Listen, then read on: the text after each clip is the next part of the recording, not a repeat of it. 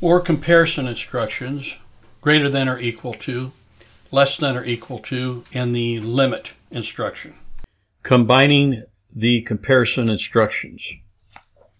We had to take an older project, open it up, make a few changes and save it. And the counter instructions that we're using, count up and count down, both of them are executed with an external input. Input zero increments the changing value and input one decrements the changing value. In rung number two, we have a less than and greater than. If the value, changing value accumulate, the counter data type accumulate, is less than value 1 and greater than value 2, then true 00, zero or local 1 O data bit 0, it'll be on. In rung number 3, if changing value accumulate is less than or equal to and greater than or equal to value 4 if changing value accumulate is less than or equal to value 3 and at the same time greater than or equal to value 4 then true underscore 01 or local 10 data 1 will be on. First question in the manual, are any of the rungs true? Yes. Which and why?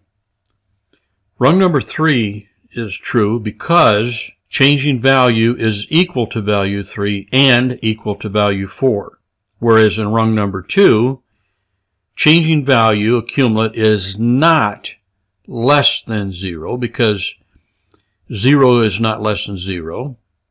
And it's not greater than 0 because 0 is not greater than 0. Therefore, both of those instructions are false. Not just one of them, but both of those instructions in rung number two are false.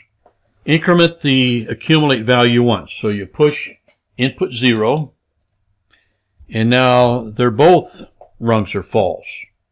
Under what condition or conditions can rung number three be true with the current states or the current values of value 3 and value 4? only when the changing value accumulate is equal to zero. So we saw the only instance where rung number three can be true. I'll decrement back down. So only, I'll go one more down, minus one. So now we're watching rung number three. At minus one, it's the rung is false. At zero, it's true. At plus one, a positive one, it's false. I can keep right on going up with my accumulate or Go back down to zero. It's true. Minus 1, minus 2, minus 3, minus 4. So you see that only when changing value accumulate is 0 is rung number 3 true.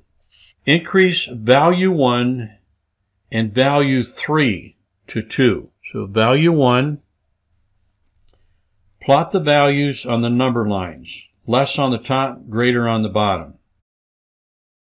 I had you plot the values on the number lines with the less than instruction on the top number line and the greater than instruction on the bottom number line. And what you should have had, because remember, these are not or equal to.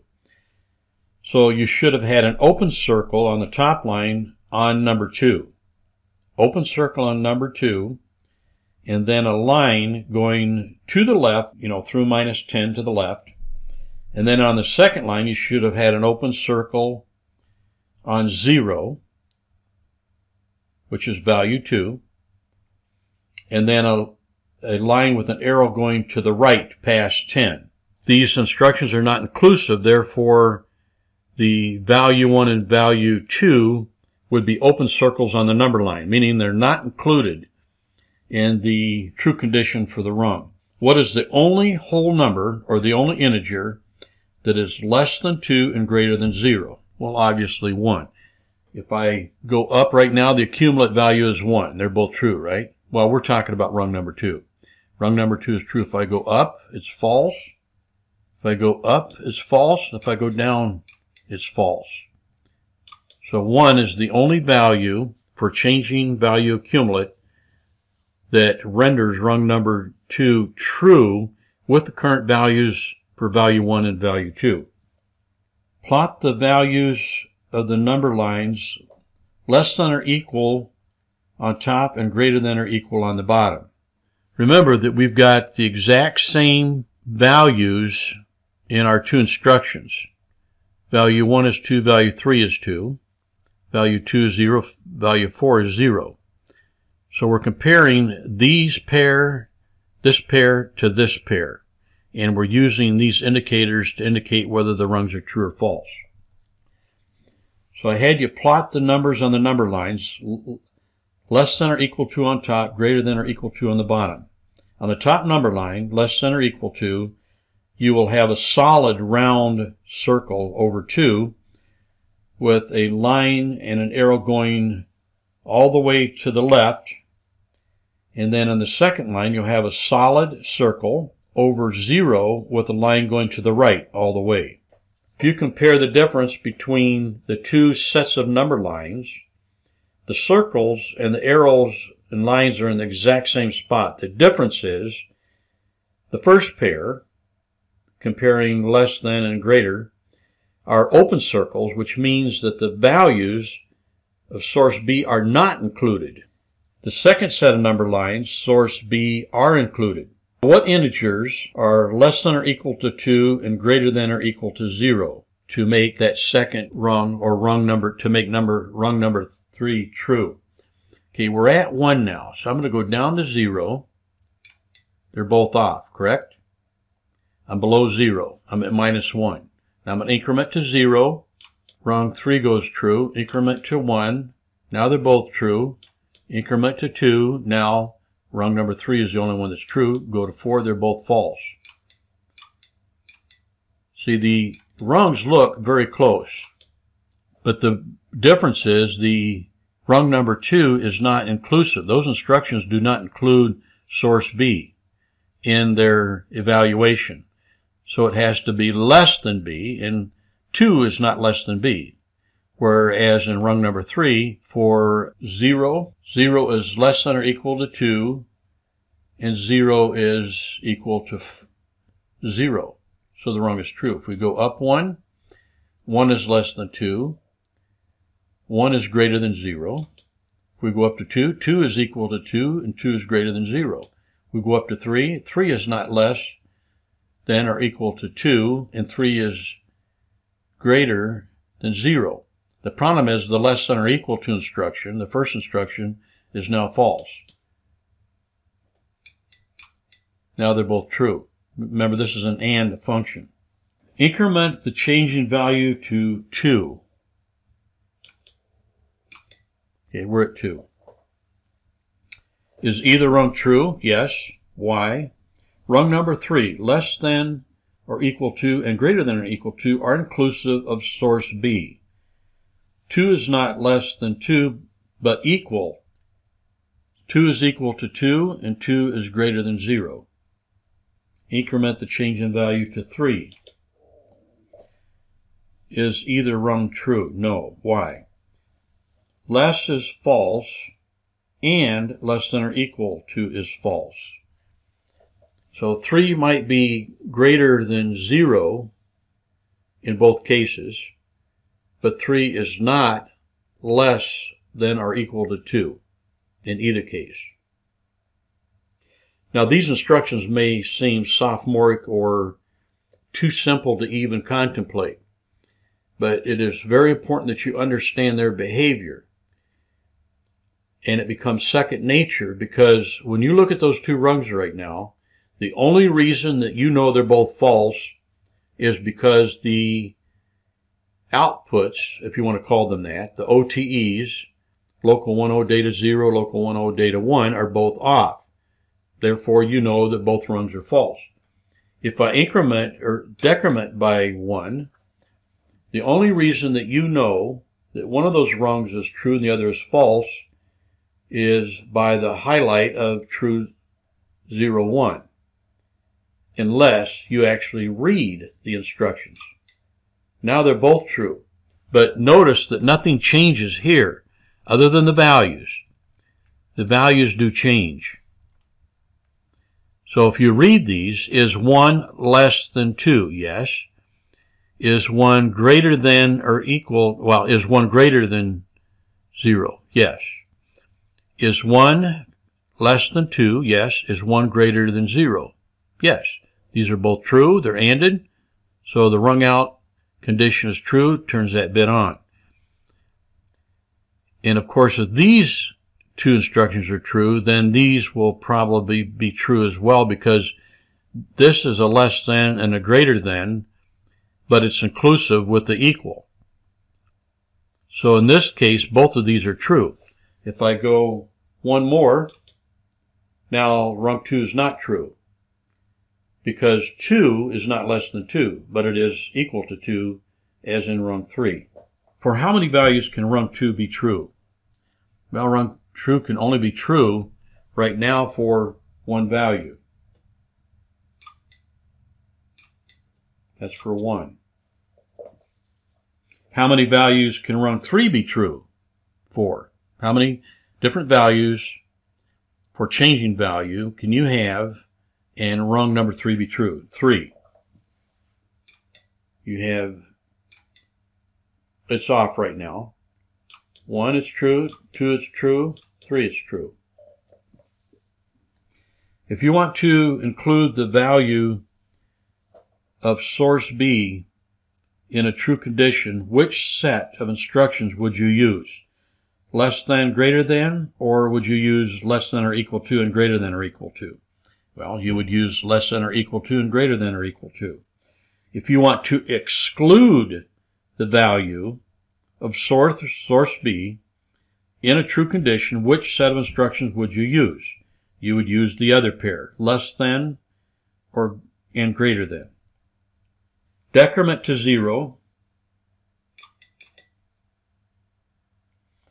Increment zero, then one, then two, then three, and repeat this until clear. Let's go down to minus one. They're both false. Both rungs are false. One, two, three, four. Repeat this until you understand it clearly. In the previous lab, combining comparison instructions, we had you create limiting logic. Logic that would limit the true state of the rung based on an upper and a lower limit. A less than or greater than, less than or equal to, greater than or equal to, and together. So both conditions had to be true in order to have a true state out of the rung, to make the rung true. What we have here is we have kept the less than or equal to and the greater than or equal to. We have also kept value 3 and 4 with them, so it's the same rung, but we did switch the output of that rung to true 0 from true 1, and we added the limit instruction, which we want to compare to these two instructions. I'll geezer this up starting with the accumulate at minus 3. So I'm going to decrement down to minus 3. Starting with an accumulate of minus 3, increment to a positive 7 while observing both true 0 and true 1 and work your way through the following list, filling in on or off starting at a cumulate of minus 3, both true 0 and true 1 are off. If I increment to minus 2, they're both off. Minus 1, both off. 0, both off. 1, both off. 2, both on.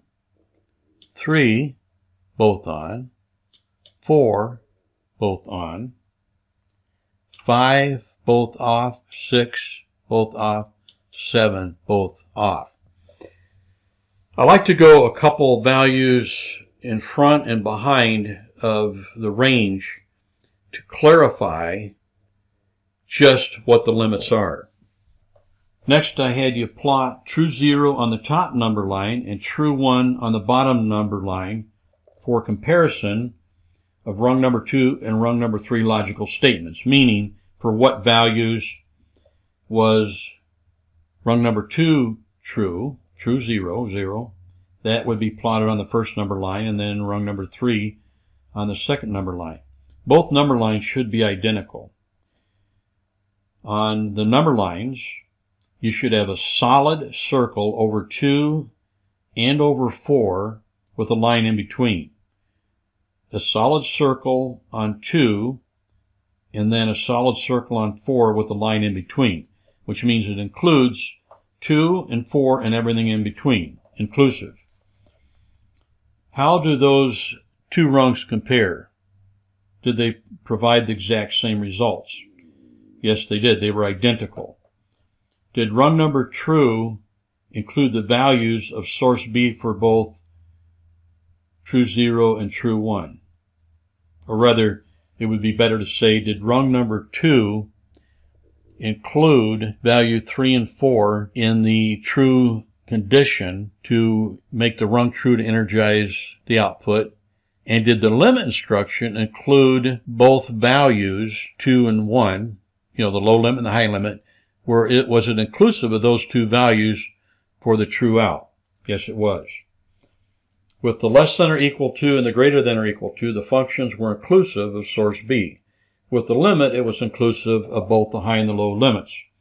What if we wanted a limit instruction, a limiting function that did not include the values between the low and the high limits? And I had you think about that before you looked at the action that I took, the change I made to the logic. So then I had you flip the values for 1 and 2 down here. Make this 4 and make this 2. I see that instantly went on. So it's the opposite of the previous. Okay, we're at 7 for an accumulate. And I said to decrement back to minus 3 and record the results in the table. So right now, true 0 is off, true 1 is on. So it's decrement, true 0 off, true 1 on. True 0 off, true 1 on. So we're at 5. When we get to 4, both of them are on. When we get to 3, now true 0 is on and true 1 is off. 2, they're both on. 1, true 0 is off and true 1 is on. At 0, true 0 is off and true 1 is on. At minus 1, the same, minus 2, the same, minus 3, the same. So you see a major difference in the result of this logic, rung 2 versus this logic, rung 3. When we flip the values, they're still the same values for the limits, but now we have the more positive value as the low limit, and the less positive is the high limit. So think about this. The instruction considers these two values. All of the values that are greater than the low limit. Remember, the low limit is the low end of the range. If the low limit is 4, then because it's inclusive, it's going to be true for 4. It's going to be true for 4, 5, 6, 7, 8, 9, 10, all the way up to whatever the highest value is for that double integer. Like 2 billion, whatever it is. Because the low limit is the lowest value, the least positive value in the range. Value 1 is the highest positive value in the range from the lower limit. So the only way that this could work is if you start at 4, go all the way to the highest value, go one more, and now you're at the negative 2 billion, so many million, that big number. And then you just keep increasing until you get back to 2. It's still true. Then you go to 3, and it's not true. So it is exclusive of the test value, but it still is inclusive of value 1 and value 2 or inclusive of the high and the low limit values. And this can come in real handy. Because we're using double integers And our high and low limits are only separated by one whole number, one integer. There is only one value that that limit instruction can be true. But you could open it up to make the low limit minus 5 and the high limit 20. It's going to exclude everything in between, but true for everything except what is in that range between that negative value and that positive value. Okay, I had you plot true 0 on the top number line and true 1 on the bottom number line. True 0 is going to look exactly as it did before. We didn't change anything yet. The top number line is going to have a solid circle on 2 and on 4 with a line connecting them. The second number line, which is for true 0, is going to have the only value that true 1 was not on for,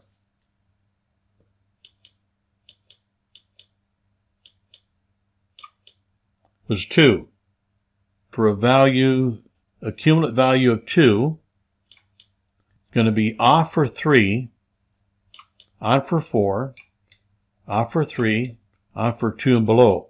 So you would have an open circle on the 3, on the number line, and then you would have a line with an arrow going in both directions off the end of the number line. It would completely loop around from that value all the way up to the highest positive, and then it would roll over to the lowest negative value and then back up to this value again. An equivalent to this limit instruction, but very limited, would be the not equal, not equal to 3. So if you were going to try to eliminate one value, you certainly wouldn't do it with the limit instruction. We're just demonstrating the behavior. Change value 3 to 2 and value 4 to 4. So what we've done is we flip these values. Now let's flip these values to see if this behaves the same as this. By flipping the less than or equal to, the greater than or equal to values, source B, remember when this was 4 and 2 and this was 2 and 4, these two bits behave the same. We flip these. Now let's flip these. Let's see if they still both behave the same. Well, you can see right off the bat they do not because they're not both true right now. So we'll start at minus 2. 0 off, 1 on. With these values, the limit instruction, of course, we didn't change anything, so the results for it will still be the same. It will be on except for an accumulate value of 3 for changing value.